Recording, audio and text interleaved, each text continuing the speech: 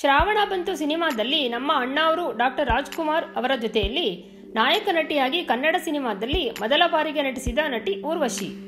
ಸಾವಿರದ ಒಂಬೈನೂರ ಎಂಬತ್ತರಲ್ಲಿಯೇ ಕನ್ನಡ ಚಿತ್ರರಂಗಕ್ಕೆ ಕಾಲಿಟ್ಟ ಈ ನಟಿ ಸಾವಿರದ ಒಂಬೈನೂರ ಎಂಬತ್ನಾಲ್ಕರಲ್ಲಿ ತೆರೆ ಕಂಡ ಶ್ರಾವಣ ಬಂತು ಸಿನಿಮಾದಿಂದ ಕನ್ನಡ ಚಿತ್ರರಂಗಕ್ಕೆ ಪಾದಾರ್ಪಣೆ ಮಾಡಿದರು. ನಂತರ ಕ್ರೇಜಿ ಸ್ಟಾರ್ ರವಿಚಂದ್ರನ್ ರವರು ನಾನು ನನ್ನ ಹೆಂಡತಿ ಸಿನಿಮಾದಲ್ಲಿ ತುಂಬಾ ಚೂಟಿಯಾಗಿದ್ದ, ಸ್ವಲ್ಪ ಘಾಟಿಯಾಗಿದ್ದ ನಾಯಕಿಯ ಪಾತ್ರಕ್ಕೆ ಜೀವ ತುಂಬಿ ನಟಿಸಿ ಕನ್ನಡ ಪ್ರೇಕ್ಷಕರು ಮತ್ತು ಕನ್ನಡ ಸಿನಿಮಾ ರಂಗದಿಂದ ಯಾರೂ ಈ ಕೇರಳ ಕುಟ್ಟಿ ಪರವಾಗಿಲ್ಲ, ಚೆನ್ನಾಗಿ ಅಭಿನಯಿಸಿದ್ದಾಳೆ ಎಂದು ಎಲ್ಲರಿಂದಲೂ ಪ್ರಶಂಸೆ ಪಡೆದುಕೊಂಡಿದ್ದರು. ಮುದ್ದು ಮುದ್ದಾಗಿದ್ದ, ದುಂಡು ದುಂಡಾಗಿದ್ದ ಪೂರ್ವಶಿ ಅವರನ್ನು ಅಂದಿನ ಸಿನಿಮಾ ಪ್ರೇಕ್ಷಕರು ತುಂಬಾ ಇಷ್ಟಪಟ್ಟರು. ಇಪ್ಪತ್ತೈದು ಜನವರಿ ಸಾವಿರದ ಒಂಬೈನೂರ ಅರವತ್ತೇಳರಲ್ಲಿ ಕೇರಳದ ತಿರುವನಂತಪುರಂನಲ್ಲಿ ನಟಿ ಊರ್ವಶಿ ಜನಿಸಿದ್ದರು. ಕೇವಲ ಹತ್ತನೇ ವಯಸ್ಸಿನಲ್ಲಿಯೇ ಮಲಯಾಳಂ ಚಿತ್ರಗಳಲ್ಲಿ ಬಾಲನಟಿಯಾಗಿ ನಟಿಸಿದ್ದರು.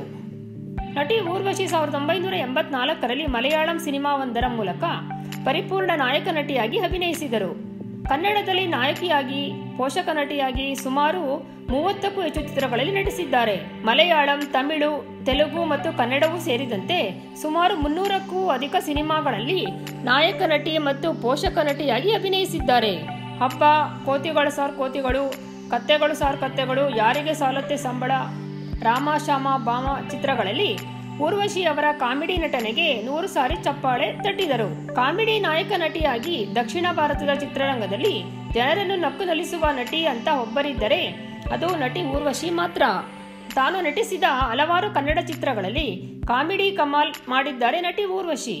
ಇನ್ನು ನಟಿ ಊರ್ವಶಿ ಅವರು ಎರಡು ಸಾವಿರನೇ ಇಸವಿಯಲ್ಲಿ ಮನೋಜ್ ಕೆ ಜೈನ್ ಎಂಬ ಮಲಯಾಳಂ ನಟನ ಜೊತೆ ಮದುವೆಯಾದರು. ಈ ದಂಪತಿಗೆ ಎರಡು ಸಾವಿರದ ಒಂದರಲ್ಲಿ ತೇಜಲಕ್ಷ್ಮಿ ಎಂಬ ಮಗಳು ಹುಟ್ಟಿದಳು. ನಂತರ ಮನೋಜ್ ರವರಿಗೆ ಎರಡು ಸಾವಿರದ ಎಂಟರಲ್ಲಿ ವಿಚ್ಛೇದನ ನೀಡಿದರು ನಟಿ ಊರ್ವಶಿ. ಮತ್ತೆ ಎರಡು ಸಾವಿರದ ಹದಿಮೂರರಲ್ಲಿ ಚೆನ್ನೈನ ಉದ್ಯಮಿ ಶಿವಪ್ರಸಾದ್ ಎಂಬುವರನ್ನು ಮದುವೆಯಾದರು. ತಮ್ಮ ಎರಡನೇ ಪತಿಯಿಂದ ಊರ್ವಶಿ ಅವರಿಗೆ ಎರಡು ಸಾವಿರದ ಹದಿನಾಲ್ಕರಲ್ಲಿ ಇಶಾನ್ ಪ್ರಜಾಪತಿ ಎಂಬ ಗಂಡು ಮಗು